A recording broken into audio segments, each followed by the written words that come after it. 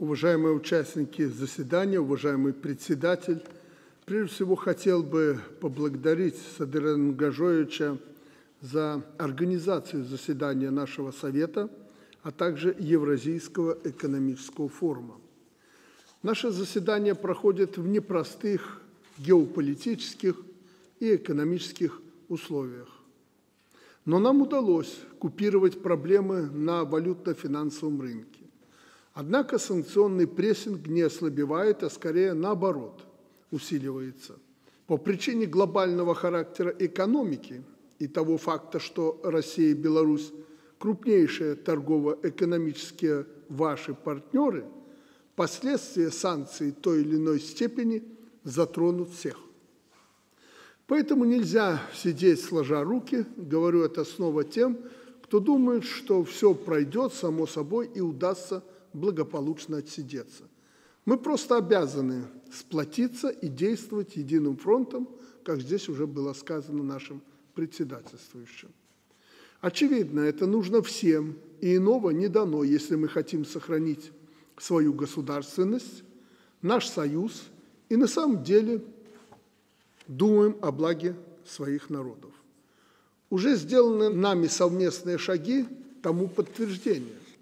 Это относится к достаточно оперативно принятым нашей комиссией решениям по повышению устойчивости экономик государств, членов Союза.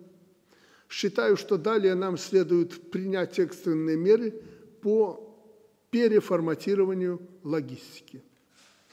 Значительный интерес представляет инициатива комиссии по реализации проекта «Евразийский агроэкспресс», он призван обеспечить регулярные беспрепятственные поставки сельскохозяйственных товаров железнодорожным транспортом, в том числе с Китаем. Кроме того, нужно серьезно форсировать работу по созданию новых кооперационных связей и импортозамещению, в особенности по товарам критического импорта. Актуальным является предложение по разработке индикативных балансов – в отношении товаров первой необходимости для внутреннего рынка Союза. ЕАЭС имеет хорошие позиции в вопросах продовольственной безопасности. Однако в связи с прогнозируемым ажиотажным спросом в мире на первоочередные продукты питания необходима тесная координация, чтобы не допустить дефицита отдельных товаров в наших странах. Считаю, что к решению обозначенных проблем необходимо подтягивать и остальные государства СНГ.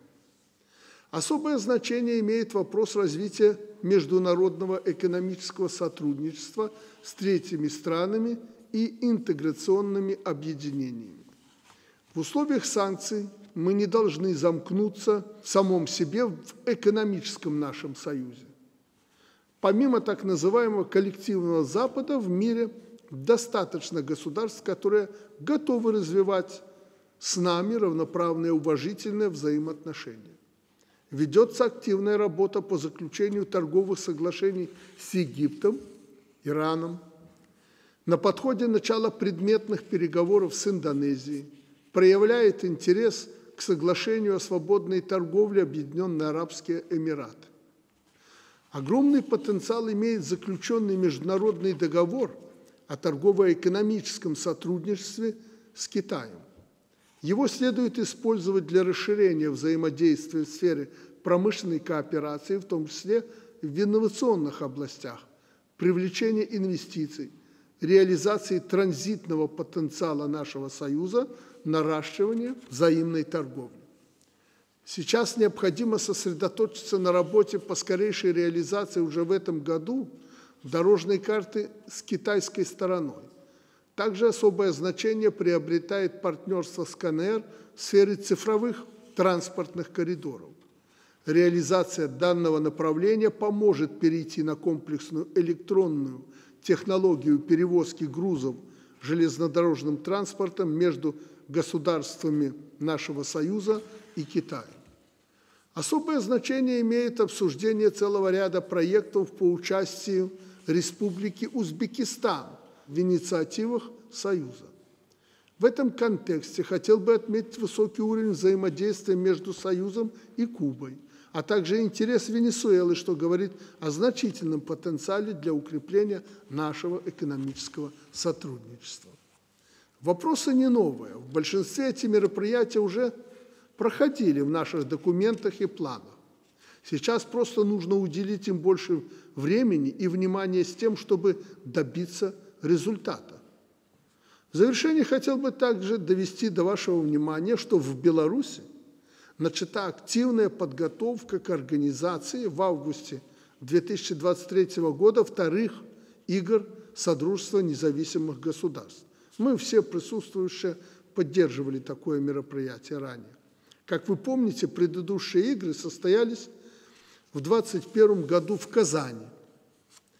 Если мы хотим продолжить эту хорошую традицию, прошу всех коллег активно подключиться к работе, дать необходимое поручение заинтересованным в ваших странах.